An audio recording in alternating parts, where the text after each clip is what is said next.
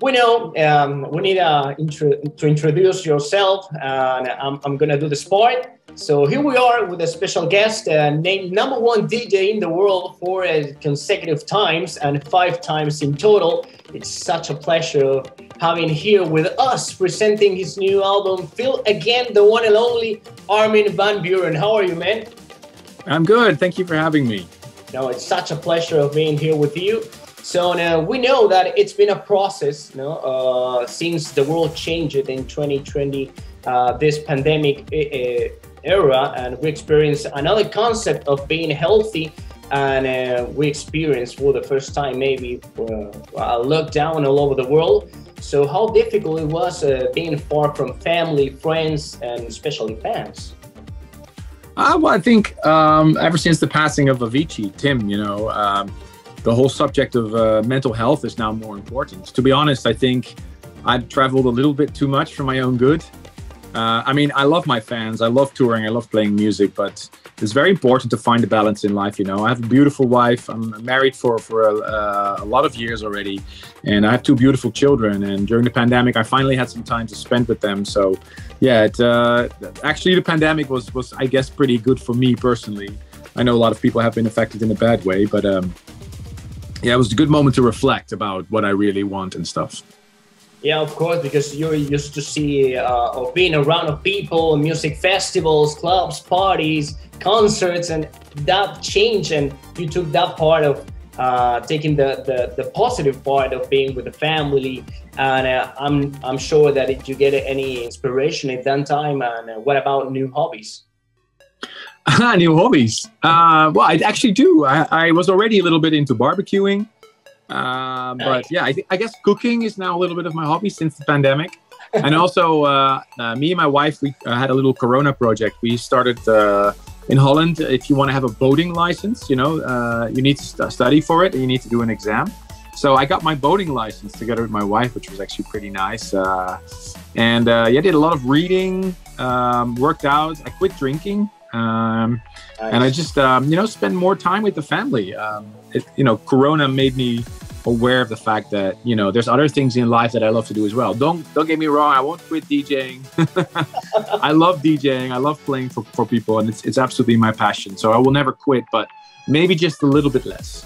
Yeah, and we love it too. So that would be a shame, but it, that's good news. That's good news for us. So, so let's get into this new album. Um, and uh, we know that On and On with the Punctual and Alika is the first track released uh, from uh, this eighth album from you, Feel Again. And uh, now this song, On and On, is more than 6 million streams on Spotify and a lot of content in, in social media, especially in TikTok. So did you knew this was going to happen?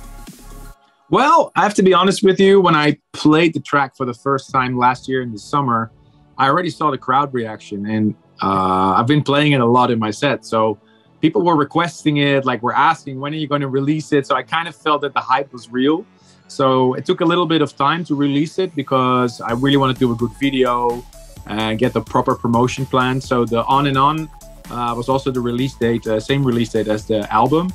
And, uh, you know, 34 new tracks for my fans. And I think it's something special. And cool. yeah, I just, I'm super happy how it's doing and how well it's being received. It's really amazing.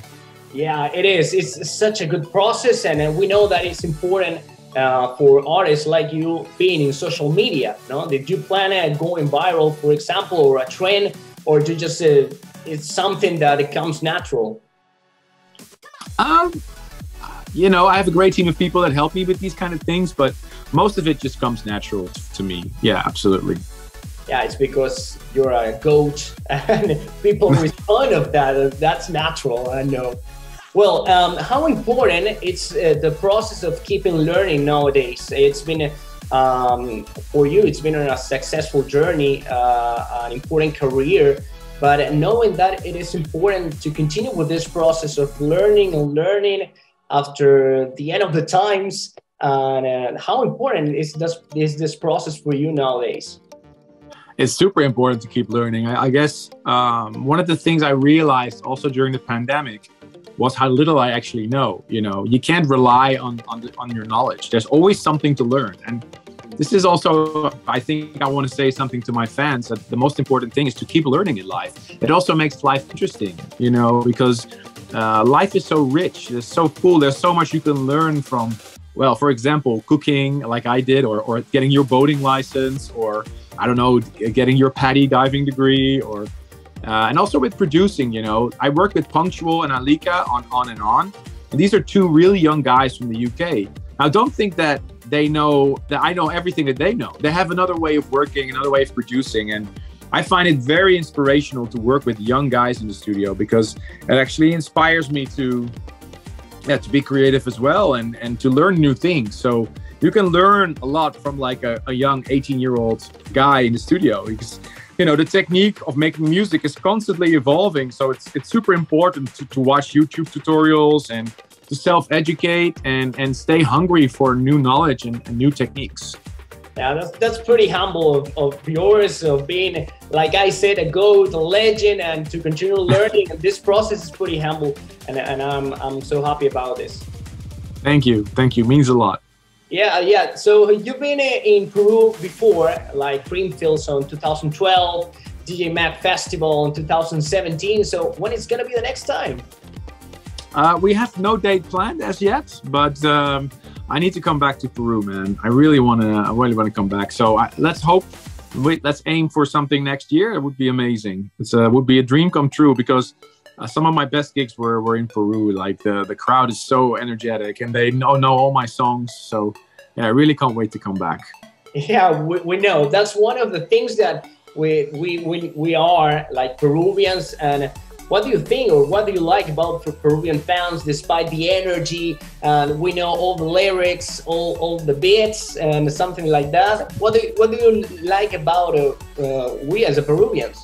Well, I think it's one of the most educated crowds in the world. They know all their songs and they know what they like. And uh, I've been coming to Peru for many years. I played many gigs in Peru, and I, I always was always so surprised about how good they know the songs, you know, because you have to understand, you know, I'm here in the Netherlands right now and I make these songs here in my studio, but I don't know what, what happens in Peru, you know. I know I have a label there that represents me and promotes my music, but I don't know if people know my actual tracks, you know, because it's the other side of the world for me. Um, and just the fact that, you know, actually people know your songs is a magical feeling because I always hope that people like my songs, but you only know it until you see all the people singing along, you know. So yeah, that's a magical feeling for sure. Yeah, what what can you say about um, about uh, or, or to your Peruvian fans uh, that are waiting for this interview and uh, news about you, new music, and of course this new album? Um, what can you say to us? Uh, I just want to say uh, muchas gracias a todos. Thank you to my Peruvian fans. I miss you guys. I had uh, such an amazing amount of gigs in your beautiful country. So let's hope I can come to you again next year uh, for uh, for a big show. And uh, yeah, fingers crossed. of course, we're looking forward for it. So thank you so much, Armin, for being here with us in the Radio Planeta. We hope you're the best. You're such a legend, and uh, uh, I'm so happy of being here with you. Thank you so much. once again, gracias, and yeah, good luck with the show. yeah, of course. Thank you so much, Armin. We hope you're the best. Thanks, man. Cheers. Cheers.